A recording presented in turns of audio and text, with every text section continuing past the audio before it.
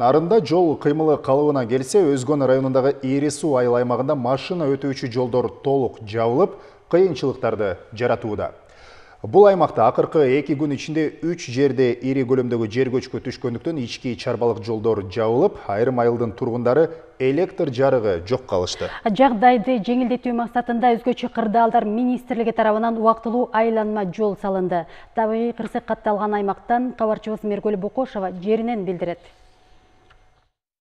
Өзгөндөн Ири суу айыл аймагына караштуу Жаңгакты айылындагы токтоо участкасында жер көчкүсү жүрдү. Жалпы көлөмү 700 миң кубометрди түзгөн көчкү эки турак үйдү басып калган. Бактыга жараша адам өмүрүнө зыян келген жок. Адистердин белгилөөсүндө аталган аймак 2006 жылы эле кооптуу аймактын катарына кирген. Мындан улам жергиликтүү тургундар мамлекет тарабынан жардамдарды алып, коопсуз жакка көчүрүлүп чыгарылган.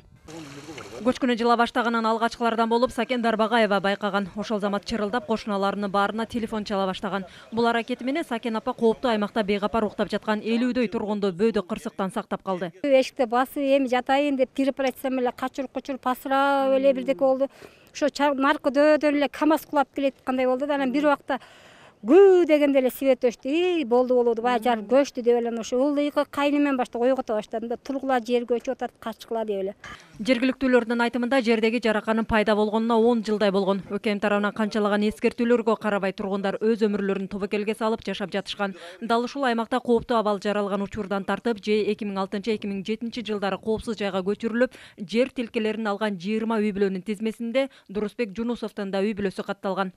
Көрүп эле барып жүргөнбүз жашап эле жылда өкмөттөн келип түшүнүк кат эме кылып алып кетип атышкан табакалга салып эле жашап аттык эми Өз өмүрүнө салкын мамиле кылган жарандарды кооптуу аймактардан милдеттүү түрдө көчүрүүнү азыр жергиликтүү бийлик колго алды. Азыркы тапта чыныгы жер тилкелерине муктаждардын саны Зергер менен Ири суу аймактарында 150дөн ашты. Бирок бул жарандарга жер тилкелерин бөлүштүрүүдө атайын комиссиянын корутундусу талап кылынат. бирок ошону дагы кайра кайра текшерип атып жери албаган сууду албаган эмелерге гана беребиз мурунку алгандарга берилбейт Бир аймактан түшкөн эки көчкүнүн аралыгы анча деле алыс эмес. Мындан улам эки бирдей түшкөн көчкү айыл аралап аккан жаңгакты суусун бөгөп калган. Натыйжада ылай аралашкан көчкү бир жарым чакырымга чейин агып келип, айылдагы өтмөктөр менен ички чарбалык жолду басып калган. ÖKM жергиликтүүлөргө экинчи айыл аркылуу айланма жол ачып берди. көчкү катыгандан кийин кургагандан кийин баары бул жерге кайрадан эски жолуну этебиз эми Көлөмү 500 кубометр деп болжолдонуп жаткан үчүнчү көчкү Өзгөн району менен Ор казган айылын бириктирген унаа жолдо түшкөн. Мындан улам айылдагы 150дөй кожолукка борбор менен байланышуу түйшүк жаратууда.